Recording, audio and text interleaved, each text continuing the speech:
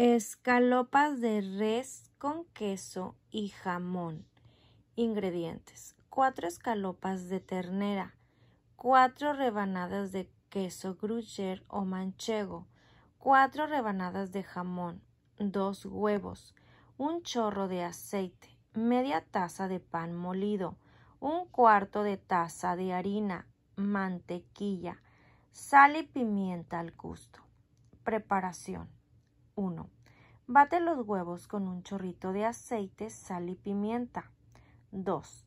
Enharina bien tu carne. 3. Coloca sobre cada escalopa una rebanada de jamón y una de queso.